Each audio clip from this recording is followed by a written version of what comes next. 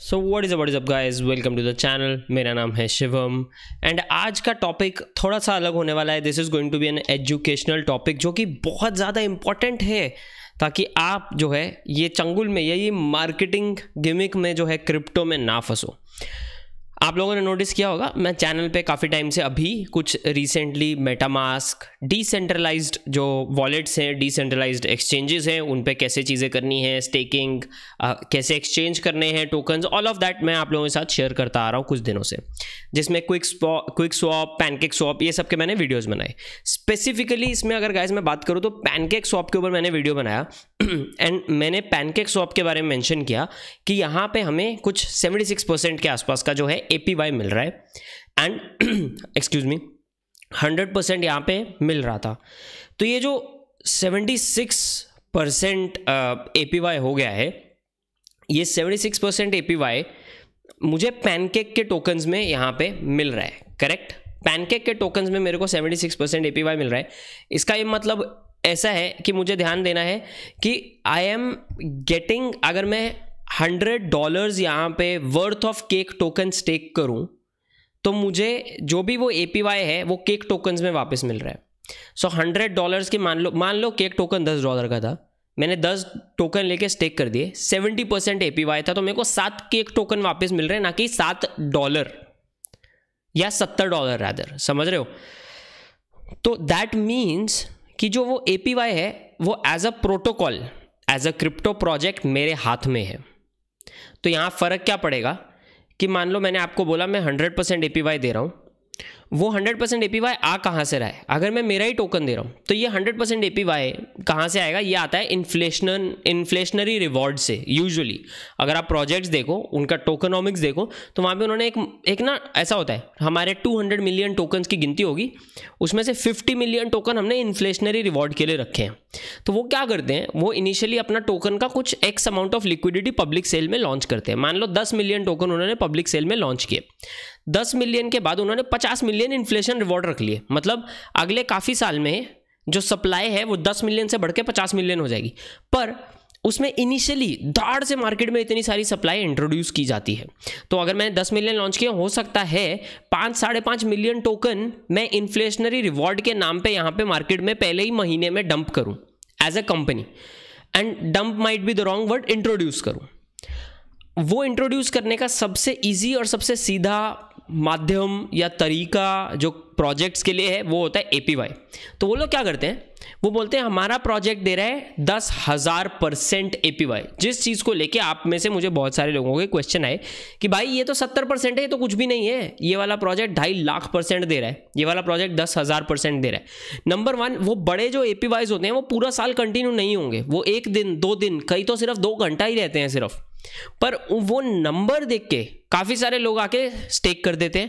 And आप notice करना, जो एक लाख परसेंट ढाई हज़ार परसेंट पच्चीस हज़ार परसेंट ए दे रहे दे ऑलवेज हैव लॉकिंग तो वो उसको ऑफसेट कैसे करते हैं? आप जाओ, अपने टोकन को लॉक करो, उसके अगेंस्ट आपको वो एपीवाई देना स्टार्ट करते हैं। तो वो एपीवाई मार्केट में इमीडिएटली इंट्रोड्यूस नहीं होता, उनके टोकन का प्राइस इमीडिएटली इतना गिरता नहीं है। तो इससे हाइप बढ़ती रहती है टोकन का प्राइस बढ़ता रहता है। पर जब वो अनलॉक होते हैं, तब वाट लग जाती है। तो वो जो टोकन रिवॉर्ड्स है, वो कहाँ से आ रहे हैं, ये देखना बहुत ज़्यादा ज़रूरी होता है। इसका दूसरा एग्ज़ाम्पल मैं आपको दे सकता हूँ, जैसे हम जायन वर्स की बात करें तो हम लक्ष्मी एनएफटी का जो लूटबॉक्स है, वो लूटबॉक्स में हम बोल रहे हैं वन तक का एपीवाई आपको यूएसडीसी में मिलेगा। वहाँ पे जायन टोकन तो कहीं आया ही नहीं बीच में करेक्ट तो आपके rewards US dollar coin USDC में है आपको। सो डज नॉट मैटर क्योंकि वहाँ पे हम कुछ प्रिंट नहीं कर रहे। पर प्रोजेक्ट्स क्या करते हैं? प्रोजेक्ट्स प्रिंट करते हैं।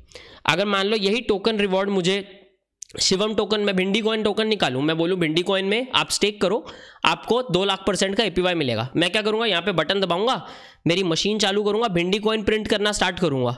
और वो मैं आपको बांटता रहूँगा और आप खुश होते रहोगे कि मेरे को इतना टोकन मिल रहा है। पर सप्लाई में वो जब धीरे धीरे आ रहा है तो प्राइस भी गिरेगा। तो आपका, शायद वो जो आपका एक लाख परसेंट आपको एपीवाई मिल रहा है, उससे एक्चुअली आपको लॉस हो रहा हो। क्योंकि वो टोकन की वैल्यू इतनी गिर रही है क्योंकि इतने सारे लोग वो ले रहे हैं। दूसरी चीज़, जैसा कि मैंने बताया, ये बहुत देर तक रहते नहीं हैं। एक साल, दो साल इसमें स्टेक कर लो, तीन साल इसमें स्टेक कर लो, ऐसा नहीं होगा।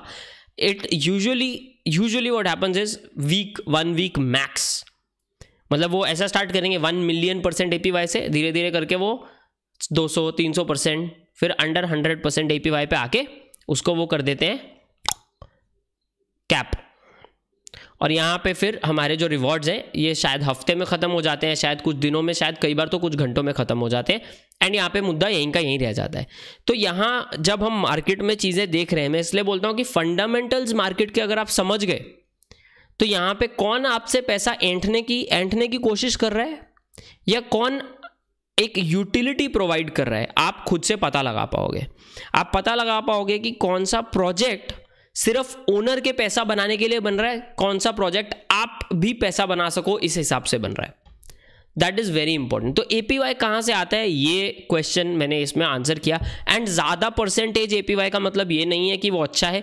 यहाँ पे दूसरा चीज़ ये भी होता है कि ये जो नए प्रोजेक्ट्स हैं, जो इतना हाई ए पी वाई दे रहे हैं कभी कभी क्योंकि देखो आप जब स्मार्ट कॉन्ट्रैक्ट ऑडिट करने जाते हो ना तो लाख लाख दो दो लाख डॉलर का ना सिर्फ़ ऑडिट होता है। ठीक है 300 से 400 लाइन का अगर कोड है तो इतने इतने में प्राइस में वो ऑडिट होता है। तो कई बार ये लोग ऑडिट नहीं करवाते, उसकी सिक्योरिटी मेजर्स अच्छे नहीं रखते। कभी कभी ऑडिट करवा, करवाते नहीं हैं, क्योंकि इन्होंने खपला किया होता है स्मार्ट कॉन्ट्रैक्ट में। शायद आप खरीद सको टोकन बेच ना सको। ऐसा बहुत हुआ है, बहुत सारे लोगों के साथ हुआ है राइट तो ये चीज़ें भी हमें यहाँ पे देखनी पड़ती हैं। तो हर नया प्रोजेक्ट जो एक अच्छा ए देता है, उसके पीछे हम यहाँ पे भाग नहीं सकते। ये मार्केट का थोड़ा सा यहाँ पे आपको ये चीज़ समझ में आनी चाहिए। टेक्नोलॉजिकली बहुत ही ज़्यादा एडवांस्ड मार्केट है। अगर हम खुद समझ के एडवांस नहीं होंगे तो कहीं ना कहीं ना हम या तो रिटर्न मिस कर रहे हैं या पैसा हमारा यहाँ पे डूब सकता है। तो ये थोड़ा सा चीज़ों का हमें ध्यान रखना है इस हाई ए पी वाई वाले प्रोजेक्ट्स में। होप आपको यहाँ से कुछ वैल्यू मिली हो इस वीडियो से। एंड जैसा कि मैं हमेशा बोलता हूँ, अगर आपको मेरे वीडियो से वैल्यू मिलती है तो एक तो आप लाइक बटन पर मुक्का मार सकते हो। अगर आप थोड़ा ब्लॉकचेन के बारे में डेप्थ में सीखना चाहते हो तो यूडमी पे मेरा कोर्स है, जो आपको ब्लॉकचेन कैसे काम करती है, क्या होता है, वो सब चीज़ें बताएगा। वो आप कोर्स का जो डिस्क्रिप्शन में दिया लिंक है, वहाँ से आप ज्वाइन कर सकते हो। हिंदी में है कोर्स काफ़ी सारे लोगों ने क्वेश्चन पूछा है। हिंदी कोर्स है टेक्निकल नॉलेज नहीं आती तो भी आप वो कोर्स बिगिनर्स के लिए है, बिल्कुल बिगिनर्स के लिए। दूसरा लाइक बटन पर मुक्का ज़रूर मारें एंड अगर आप चैनल पर नए हैं तो जाने के पहले सब्सक्राइब ज़रूर कर दें। एंड आपके अगर कोई ऐसे इंटरेस्टिंग क्वेश्चन हैं, जो शायद आपको जिनका आंसर नहीं मिल पा रहा है, आपको लगता है बिकॉज़ मैं इस इंडस्ट्री में एक्चुअली काम भी कर रहा हूँ, मैं शायद बेटर आंसर कर पाऊँ आपके लिए from experience I would love to hear that question तो आप वो कमेंट में छोड़ सकते हैं, नहीं तो ट्विटर पे ट्वीट कर सकते हैं, नहीं तो इंस्टाग्राम के किसी पोस्ट के कमेंट में छोड़ सकते हैं। जो भी करें पब्लिकली मुझे आप वो क्वेश्चन पूछे तो और भी लोग आपकी मदद उसमें कर पाएँगे। दैट्स इट गाइज़ ये था आज का वीडियो होप ये अच्छा लगाओ मैं आप लोगों मिलूँगा अगले वीडियो में। तब तक के लिए गाइज़ बाय